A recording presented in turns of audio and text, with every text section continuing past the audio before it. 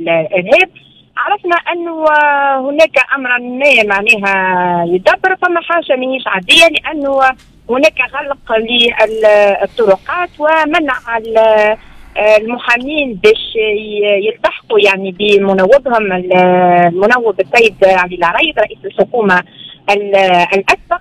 أنا حقيقة تمكنت باش نوصل خاطر جبت من نهج خلفي هذاك علاش ما كنت نخلط. وحتى كيف وصلت إلى مقر الفرقة قالوا لي انت انت ولا جان يعني كيفاش خلطت؟ حتى الاعوان غاديك تفاجئوا آه، المسألة معناها كانت مدبرة من الصباح أنه تم منع المنوب من حقه في الدفاع آه، كاملا. آه، كان المنوب يعني في الموعد العاشرة صباحا ولكن لم يتم معناها البدء في سماعه معناها أو اطلاع المحامين على الملف إلا تقريبا الساعة منتصف النهار واللي هو كان الموعد المخصص لمنوبنا الثاني الأستاذ راشد الغنوشي اللي معناها استجابة للدعوات اللي تلقاوها المنوبين واحتراما معناها للقضاء وصلوا في الموعد المحدد إلا أنه الظروف يعني المحاكمة العادلة لم تكن متوفرة. آه، تم تمكيننا من الاطلاع على الملف واللي هو أنا ناكد أنه هو معناها آه، ملف آه، فارغ بما يوحي أنه إيش معناها ملف فارغ أستاذة؟ إيش معناها ملف فارغ؟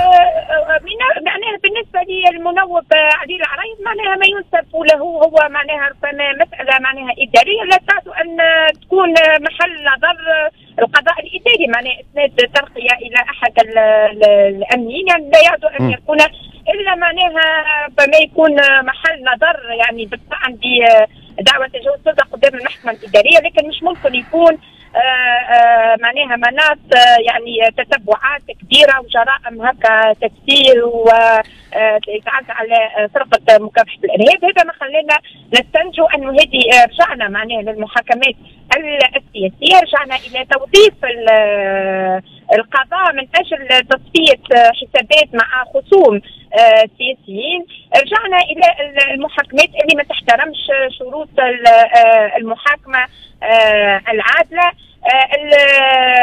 الاستماع معناها كان لساعات يعني طويلة وطويلة جدا.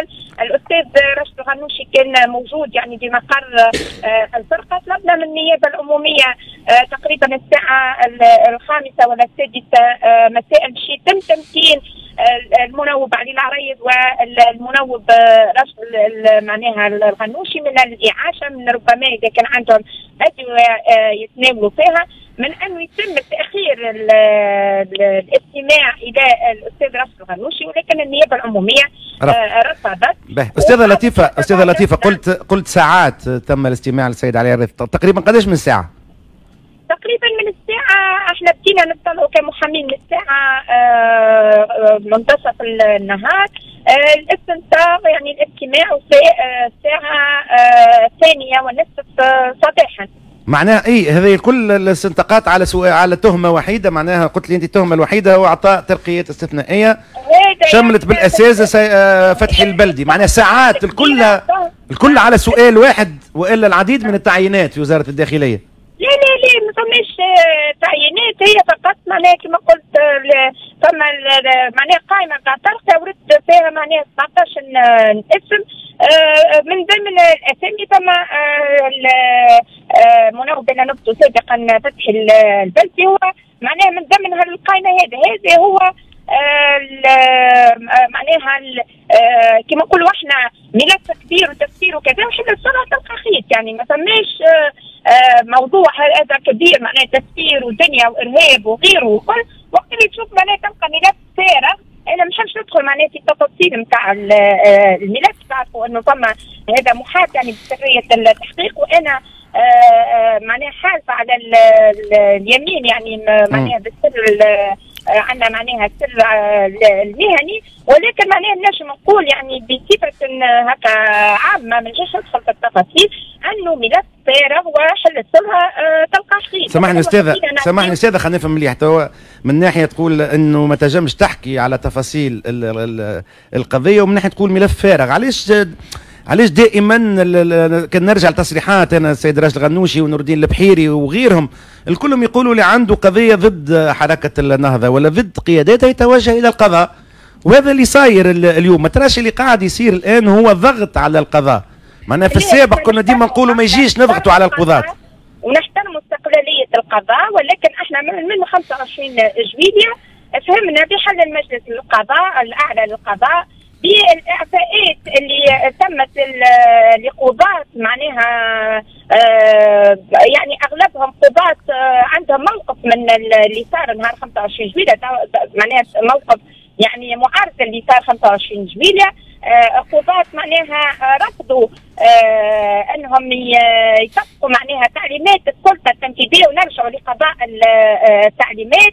آه فما آه فهمنا من الإعفاءات هذيك التعسفية فهمنا من عدم تطبيق آه أحكام محكمة آه إدارية بإيقاف التنفيذ فهمنا من عدم آه معناها هذه الحركة القضائية لأول مرة في تاريخ تونس.